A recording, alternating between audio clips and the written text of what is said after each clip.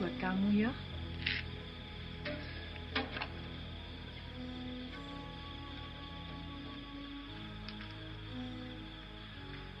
Bagaimana cara memainkannya, Bu?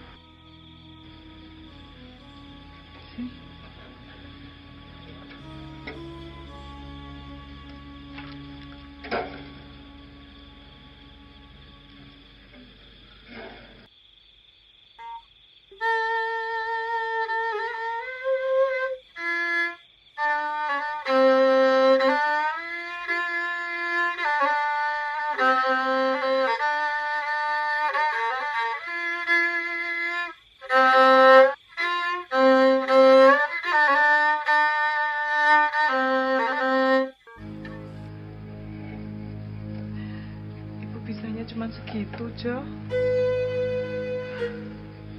Bapakmu itu sangat mahir bermain rebab. Dia sangat terkenal.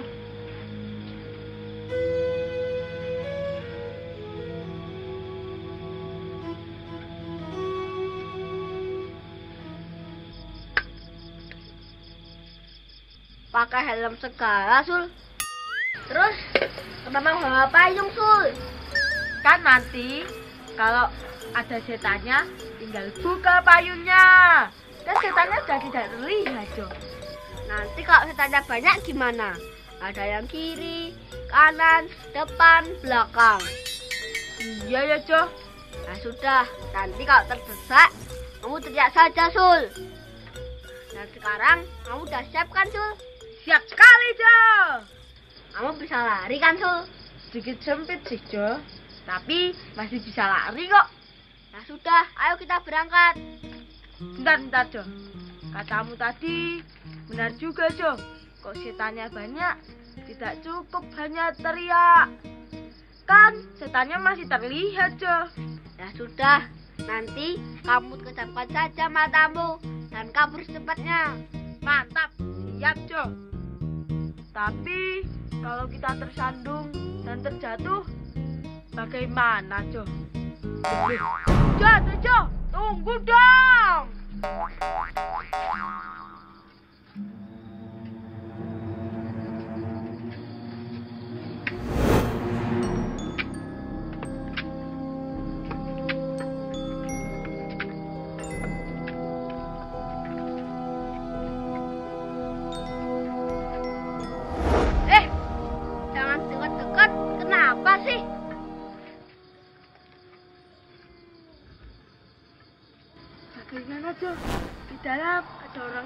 Tidak?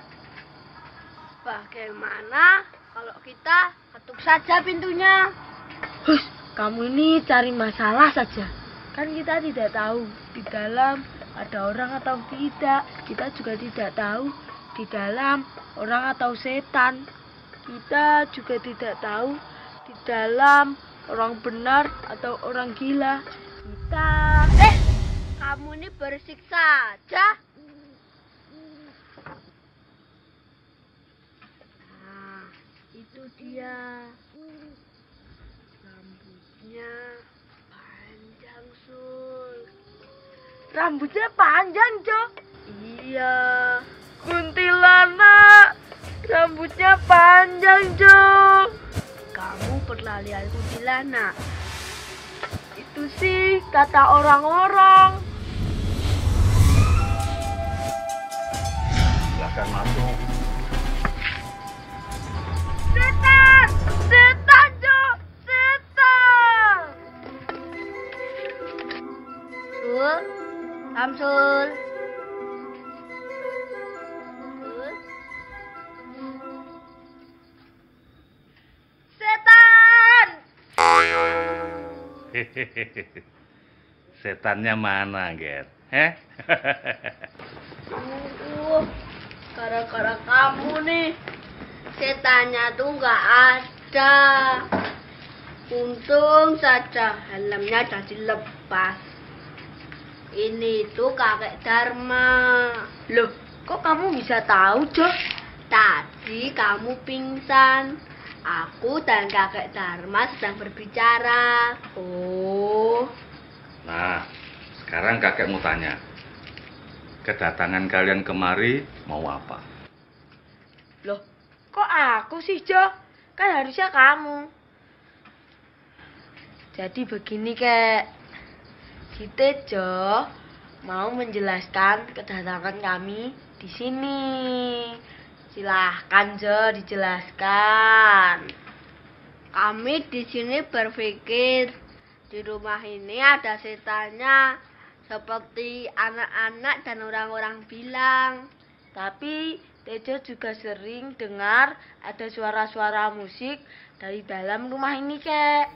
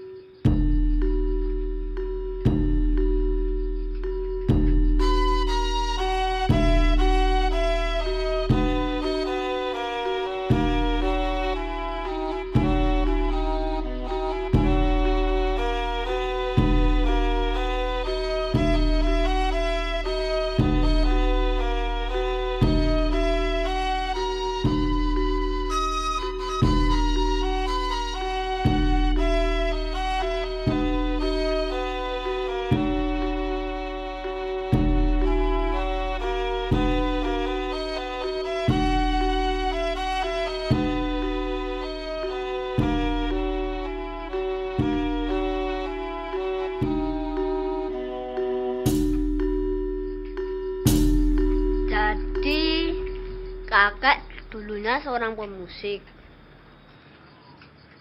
Kenapa kakek sembunyi di sini? Sembunyi-sembunyi seperti bajak laut. Mungkin belum saatnya kalian tahu masa lalu kakek hingga seperti sekarang ini. Loh, memangnya kenapa kek?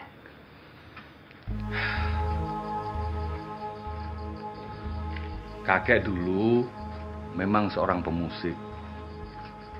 Tapi kakek juga suka minum minuman keras, menghambur-hamburkan uang. Nah, pada suatu saat, rumah kakek kebakar. Semua karena salah kakek.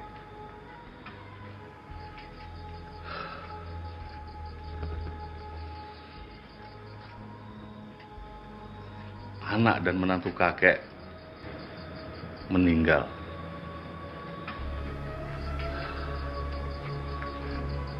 Sejak saat itulah kakek suka sepi.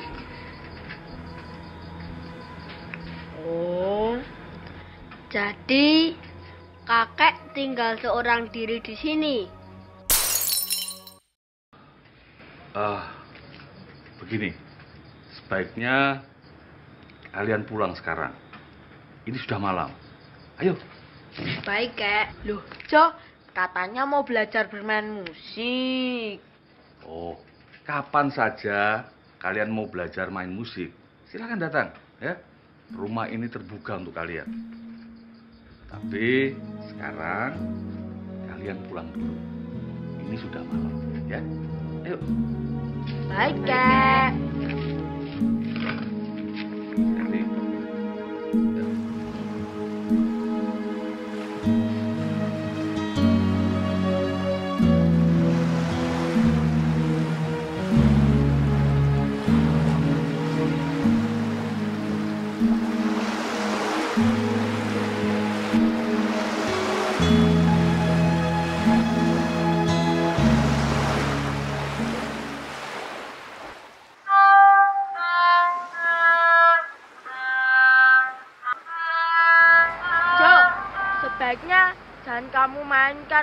Rebabnya. Terus, siapakah rebabnya, Sul? Sifat, tunggu sampai kakek Dharma mengajarkan kita. Emang kamu tidak takut rusak apa? Jo, kamu ini ngapain sih ngumpul-ngumpulin keras? Gak yang kecil, gak yang besar. Gak tahu, Sul.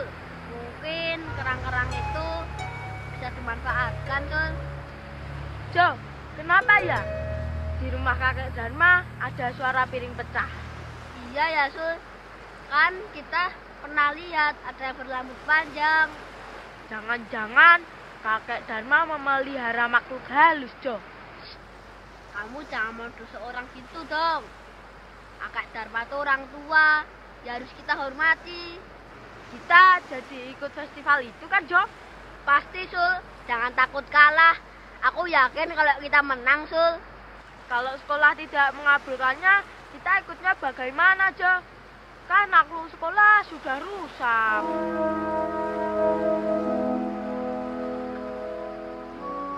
Kita juga hanya punya rebab satu, Jo. Memangnya sekolah tidak punya uang apa, Jo? Jadi, kita nggak punya alat musik dong, Jo.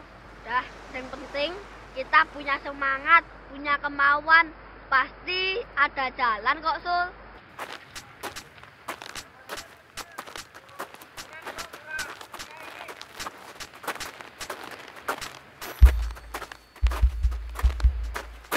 Ri. Iki piye iki, ha? Sudah berbulan-bulan tidak ada kabar berita dari suamimu. Sementara kamu juga belum membayar kapalku. Kamu ngerti toh? Sekarang ini berapa uang untuk membuat kapal yang baru? Apa-apa itu naik sekarang, Sri. Harganya naik. Baiklah, Pak. Saya berjanji bulan depan saya akan membayarnya, Pak. Dari kemarin kamu itu bilangnya bulan depan, bulan depan. Mau sampai kapan? Mau sampai bulan depan kapan?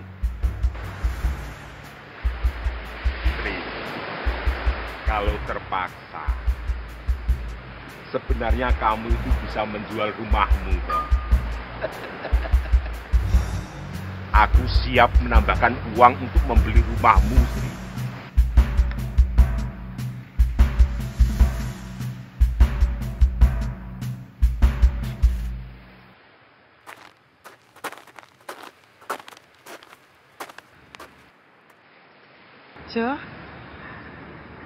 Ada apa, Bu? tidak ada apa-apa kok. Kamu sudah pulang, toh, Le? Ibu bohong lagi ya sama Tejo. Ibu itu ndak bohong kok, Jo. Pak banget itu ke sini cuma mau melihat keadaan ibu. Keadaan ibu? Jo, ibu itu bisa sedih, bisa juga gembira, bisa apa saja, Jo. Ya sudah, masuk ya.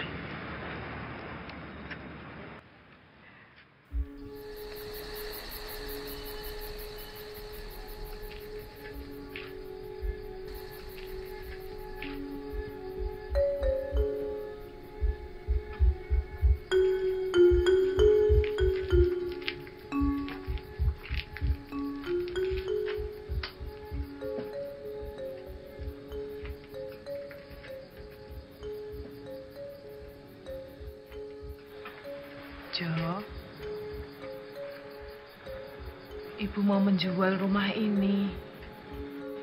Rumah ini dijual, Bu. Pasti Pak banget yang menyuruh Ibu. Jo, Pak banget itu hanya memberikan jalan keluar.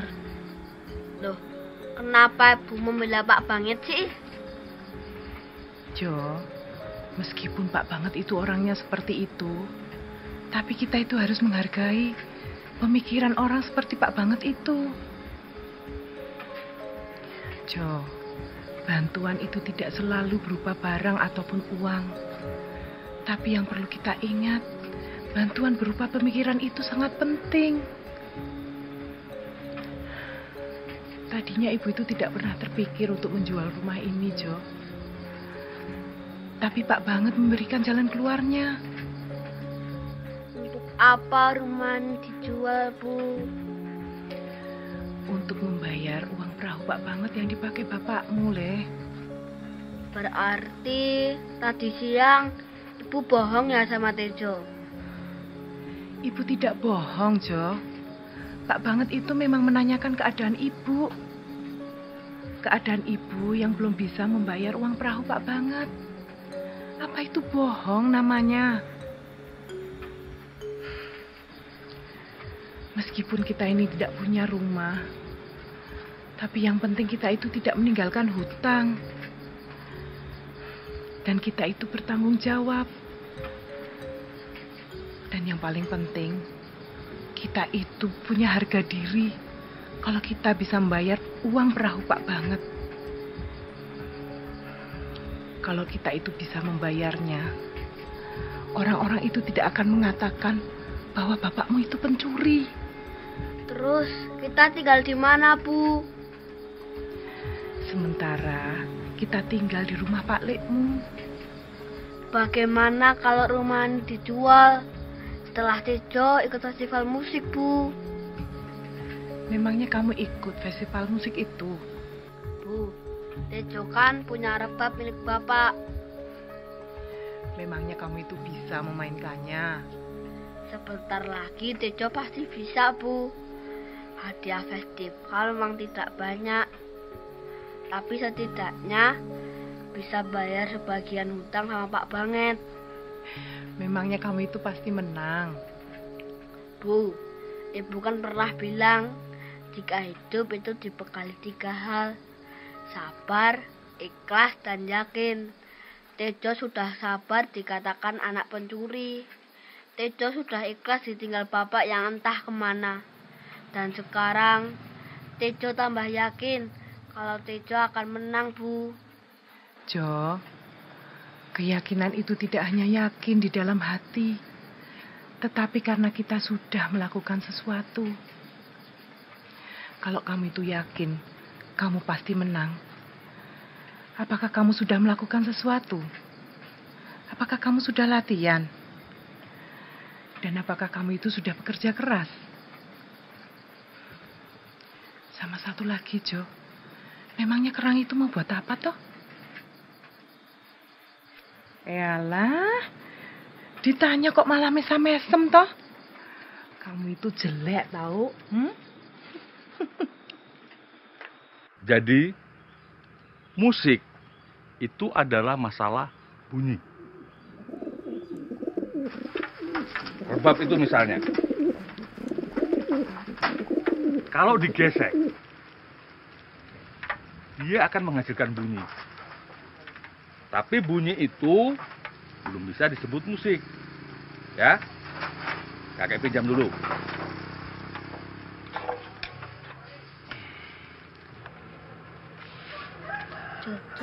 Perutku, perutku udah nggak bisa ditahan lagi nih. Kamu ambil batu aja. Kamu pegang, biar bisa tahan. Ya, sebentar lagi juga selesai kok, Sul. Ada bunyi yang sama, ada bunyi yang beda. Ada nada yang tinggi, ada yang rendah. Begini contohnya.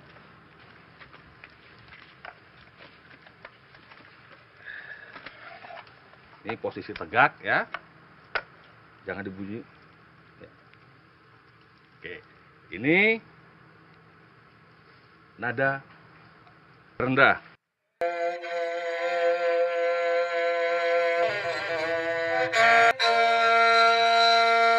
Ya. Nah. Ini nada tinggi.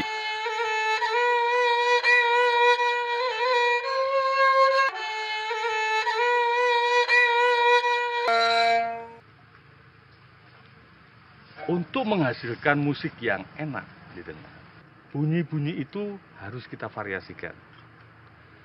Ya, mungkin di sekolah kalian sudah mendapatkan teorinya ya. Kakek hanya mengingatkan kembali. Bentar, Kek. Jadi, kalau musik yang hanya cuma bunyi, berarti seperti ini bisa dikatakan alat musik, Kek. Tepat sekali. Hanya saja bunyi-bunyi itu harus kita variasikan supaya menghasilkan musik yang enak. Nah, sekarang coba kamu pukul itu, kakek akan mengiringi pakai rebab. Ayo.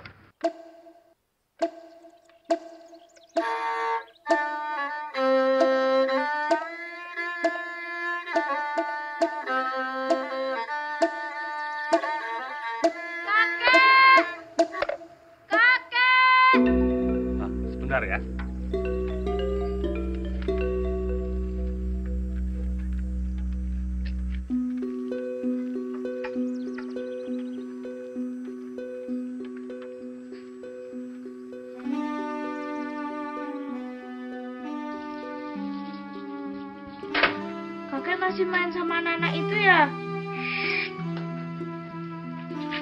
Gak boleh gitu, Nduk. Gak baik. Ya?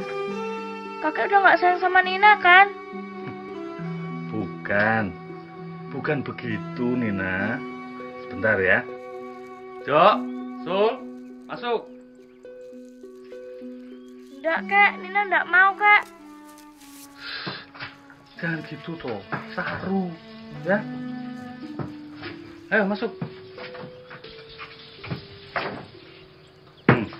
Lihat. Mereka juga teman-teman kamu, ya. Kamu seharusnya bisa seperti mereka, ya. Ah, Jok, Samsul. Ini Nina, cucu kakek satu-satunya.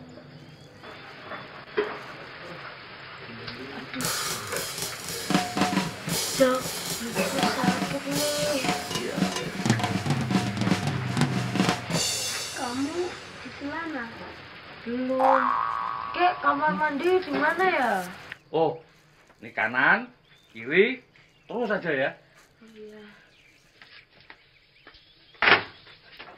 Belum berjalan apa? Belum enggak. Aduh, aduh.